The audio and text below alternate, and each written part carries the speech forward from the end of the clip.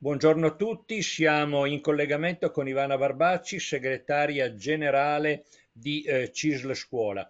Eh, in queste ultime ore, in questi ultimi giorni, il ministro Valditara ha nuovamente ricordato che mai come eh, in questa legislatura eh, agli insegnanti sono stati dati eh, importanti riconoscimenti eh, economici.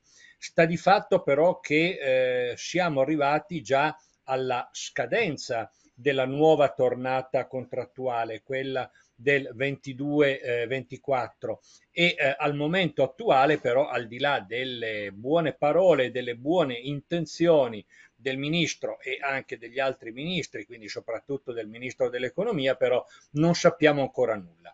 Vi risulta che l'atto di indirizzo sia ormai addirittura d'arrivo? Abbiamo capito che per le funzioni centrali si dovrebbe partire a breve. Per la scuola come siamo messi? Allora, noi attendiamo con molta preoccupazione da un lato e anche necessità di accelerare i tempi, attendiamo l'atto di indirizzo del ministro Valditara.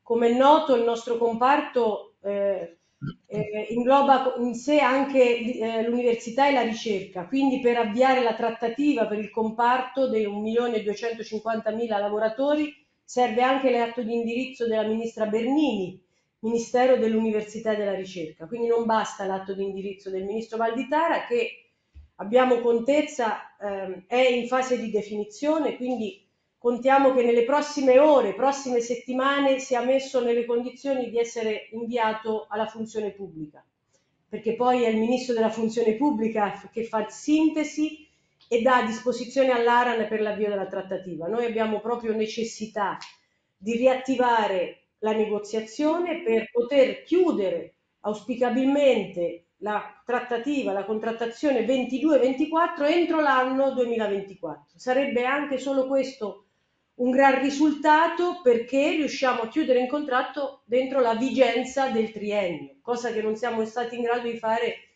le ultime volte, l'abbiamo sempre eh, conclusa a scadenza della vigenza. Poi c'è il tema più importante di tutti, è quello di riuscire a mettere nella retribuzione tabellare fissa aumenti contrattuali significativi rispondenti alle responsabilità annesse e connesse alle, al lavoro di scuola, nello stesso tempo anche rispondenti al recupero del potere d'acquisto degli stipendi in ordine anche all'inflazione.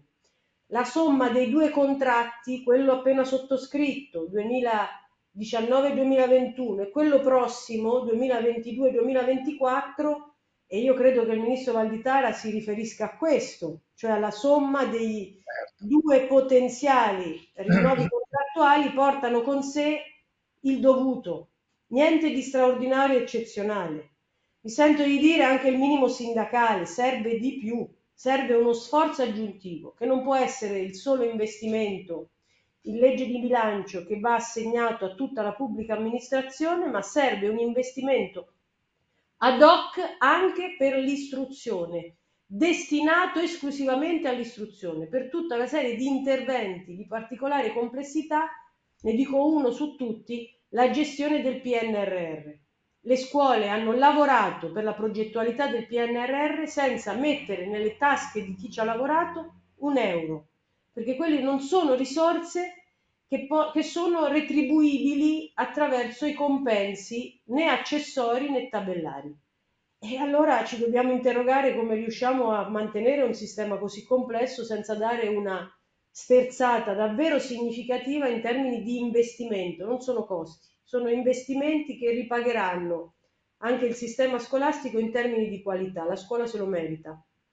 Senti, a proposito di compensi accessori, eh, probabilmente un obiettivo importante del prossimo contratto forse è proprio questo, cioè di, di, avere una rivalutazione anche consistente dei compensi accessori che negli ultimi anni, con gli ultimi due contratti, sono di fatto diminuiti perché eh, in un caso sono proprio diminuiti anche da un punto di vista di valore assoluto e poi comunque anche quando sono rimasti identici chiaramente sono stati erosi dal, dal, dall'inflazione. Quindi forse questo è un obiettivo importante, o no? Sì, è molto importante che va, diciamo, di pari passo con quelli che ho già espresso. Abbiamo necessità di implementare il fondo delle istituzioni scolastiche, da cui eh, si attinge per la contrattazione integrativa e i compensi accessori. È necessario perché le attività aggiuntive, oltre quelle obbligatorie, sono molto aumentate, sono molto complesse e in realtà eh, il fondo è rimasto stabile, se non addirittura in alcuni casi ha avuto qualche eh, diciamo, eh, segno meno. Allora lì serve un intervento specifico, ad esempio, per caratterizzare un impegno di spesa da rivolgere al personale in formazione. Se è vero che vogliamo puntare sulla qualità del personale, chiedendo al personale di formarsi, dobbiamo anche sapere, dobbiamo rispondere pagandolo il personale che si forma, perché sono attività aggiuntive, carichi aggiuntivi che si sommano a quelli per i quali si viene pagati dallo stipendio. Un tema importante però è anche quello di provare a lavorare per la defiscalizzazione dei compensi accessori. Sarebbe un risultato e un obiettivo da centrare molto importante perché renderebbe anche molto più appetibile accedere alla retribuzione accessoria in termini anche di incarichi e di impegni che sono messi a disposizione della comunità professionale e dell'istituzione scolastica tutta.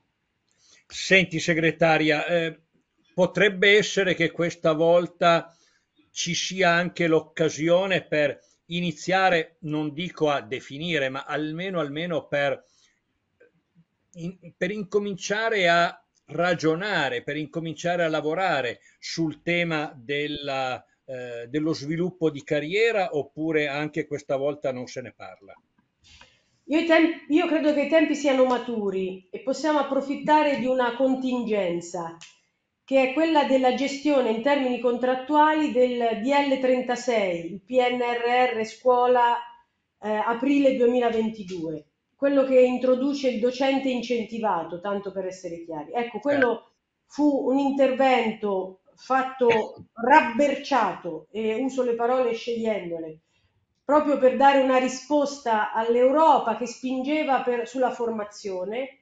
Noi vogliamo che invece sia davvero un intervento proattivo in termini di avvio di un processo che caratterizzi e risponda alla valorizzazione delle responsabilità che già ci sono nella scuola e che vengono ad esempio retribuite attraverso il compenso accessorio del FIS, che non è sufficiente. Quindi eh, proviamo a come dire, governare eh, la dimensione del DL 36 dentro il contratto 22-24 per riorientare quelle risorse cominciando ad avviare un processo di caratterizzazione delle responsabilità in termini di figure a sostegno e supporto dell'offerta formativa. Questa è un'occasione che non possiamo perdere e potrebbe essere l'inizio di un processo che poi dovremo proseguire con il prossimo contratto.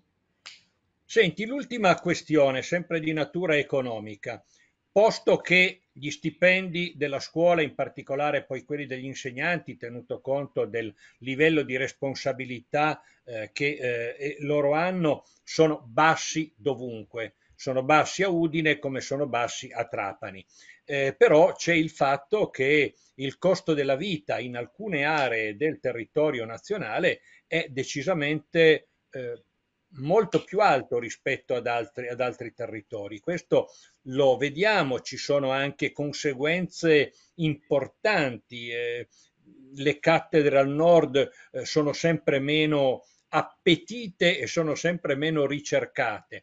Ecco, ora senza andare a finire nella, nell'idea di avere stipendi eh, più alti al nord e meno, e meno, alti al sud che richiamerebbero le ben note gabbie salariali eh, sulle quali credo tutti siano contrari, però si può, si può pensare almeno a delle forme di welfare eh, per aiutare chi eh, deve lavorare fuori sede, magari deve anche spendere soldi per viaggiare, per spostarsi. Ecco, questo si può trovare una soluzione?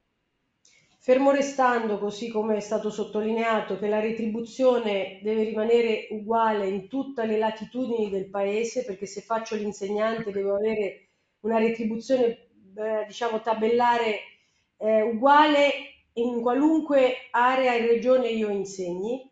Fermo restando questo, è chiaro che forse dobbiamo avviare un ragionamento i tempi ci sono le condizioni ci sono perché diversamente ne, ne stiamo subendo i danni per poter immaginare un welfare territoriale che sia anche abbastanza corrispondente alle caratterizzazioni del territorio. Per quanto riguarda le regioni del nord ci sono delle esigenze che possono essere quelle degli affitti, che ci possono essere per le regioni del, del sud, ad esempio, ci può essere una caratterizzazione di welfare relativa alla mobilità. Chi vuole tornare da una regione del centro e del nord verso la Sicilia, eh, in molti casi deve spendere una, uno stipendio per tornare in Sicilia o in Sardegna, perché i prezzi degli aerei e dei mezzi di comunicazione sono altissimi. Questo è un tema urgente che non è legato ai salari e alle retribuzioni, ma è welfare, sostegno, supporto anche a fare in modo che il personale possa poter garantire, ad esempio, una continuità su alcuni territori. E questo potrebbe, dovrebbe riguardare tutto il personale. Faccio un esempio, le stesse caratteristiche riguarda, riguardano gli infermieri. Gli infermieri si trovano nelle stesse condizioni degli insegnanti. Al nord Italia non riescono a poter instaurare un rapporto continuativo di lavoro perché il loro stipendio è troppo basso rispetto alla, alla diciamo, il caro vita di alcune regioni. Allora potremmo rispondere agli insegnanti come ai lavoratori dell'Inps, come ai lavoratori della sanità, come ai lavoratori del pubblico impiego che sono costretti a spostarsi perché i posti sono in alcuni luoghi, non in altri, con un welfare territoriale coordinato, organico e non a spot o non diciamo caratterizzato da sponsorizzazioni eh, temporanee. A noi serve un sistema strutturale. Senti Ivana, concretamente voi vi augurate, sperate, pensate che si possa aprire il tavolo delle trattative già a settembre? Io direi che confido invece piuttosto che si possa aprire già, diciamo, anche in estate. Noi siamo pronti, questo, nessun giorno può essere perso. Se nelle prossime settimane l'atto di indirizzo dovesse arrivare alla funzione pubblica e avere tutti i crismi per poter avviare una trattativa, siamo disponibili da subito a iniziare il confronto e poterlo, se speriamo, speriamo tutto vada per il verso giusto, chiuderlo entro la fine dell'anno, al massimo i primi mesi del nuovo anno. Insomma, concludiamo con una battuta. Pur di chiudere il contratto entro i tempi dovuti, siete disposti anche a fare un incontro all'Aran il giorno di Ferragosto? Non, eh, questo lavoro impone anche questo tipo di, di impegni, quindi li mettiamo in conto, non c'è problema. Va bene, allora mille auguri per la trattativa, Grazie. mille auguri per tutto e ci risentiamo e ci rivediamo quando ci saranno notizie più concrete. D'accordo? Grazie, grazie. Grazie a te.